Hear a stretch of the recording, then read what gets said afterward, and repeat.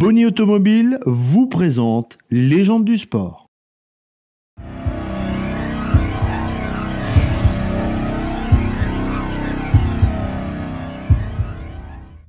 Georges Polny, bonjour. Bonjour. Merci de nous avoir rejoints au Musée des Verts pour nous parler de vos meilleurs souvenirs euh, dans la Maison Verte. Ouais. Ah ben, il y en a beaucoup. Hein. Déjà votre palmarès, quel palmarès? Oui, palmarès, oui. Mais enfin, quand je suis arrivé, déjà, moi j'arrivais d'un petit club de promotion d'honneur. Hein, et je suis arrivé ici avec ma valise sur la, à la sortie de, de- de la gare de Château-Creux. Euh, le gérant de l'hôtel qui était en face là, est, venu me récupérer. C'était un dimanche, un dimanche matin. Et dans l'après-midi, on, on montait à Saint-Antin pour faire un stage de, euh, de, de pré-saison. On rappelle votre période de jeu à Saint-Etienne À Saint-Étienne, ben, j'ai débuté en 60 et donc euh, jusqu'en 72.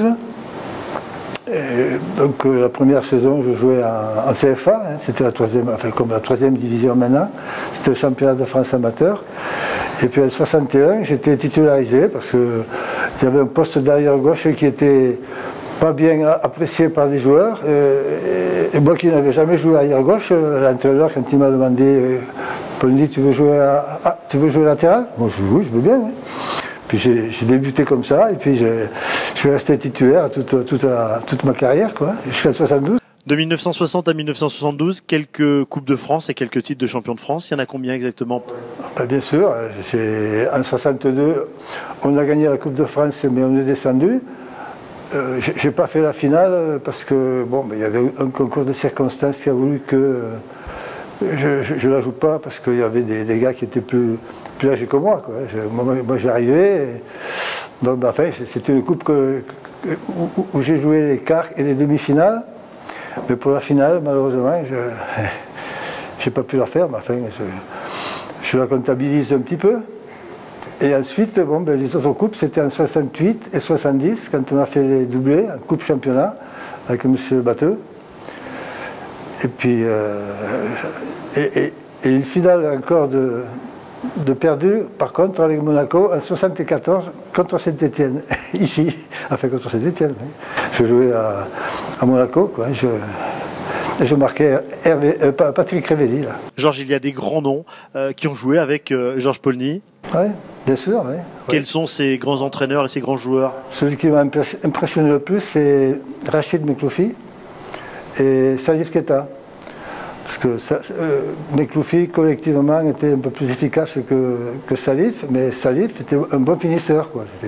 Alors c'était vraiment des, c'est- les meilleurs joueurs que j'ai vu passer à Saint-Etienne, enfin à mon, à mon avis. Quoi. S'il y a une image que vous avez envie de retenir de, de votre passage, votre grand passage de 12 ans à Saint-Etienne Pas des images, oui. euh, Le musée, il y a- il y en a plein des images. hein.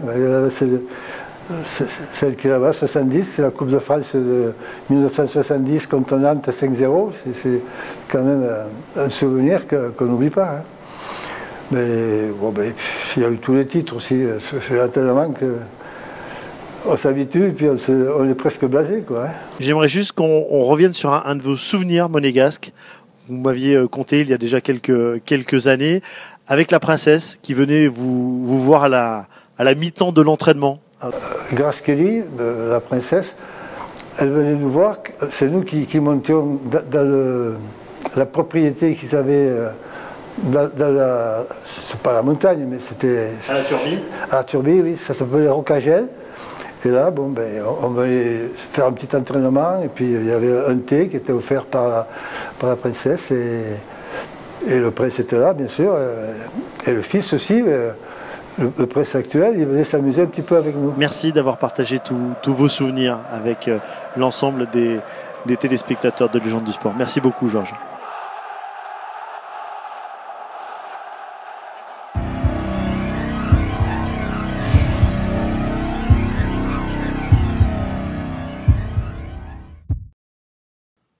Légende du sport vous a été présenté par Bonnie Automobile.